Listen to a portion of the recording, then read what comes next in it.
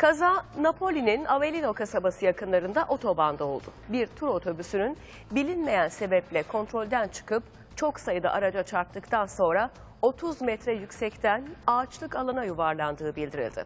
Kurtarma ekipleri saatler süren çalışmanın ardından sürücünün de aralarında olduğu 37 kişinin cansız bedenine ulaştı.